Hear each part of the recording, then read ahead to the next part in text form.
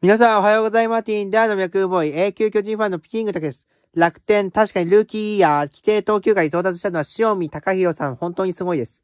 サウスポーピッチャーとして本当にストレート、変化球、どれも投げれるピッチャー、カットボールマン、スライダー、カーブ、もう多種多様ですごいです。しかし、怪我で苦しみましたね。まあ、現役も続けておりますが、確かに、あの、一時期の活躍がやはり二軍落ちとか怪我とかいっぱいありましたね。はい。先発長継ぎ両方で9ピッチャーです。以上です。バイバイ。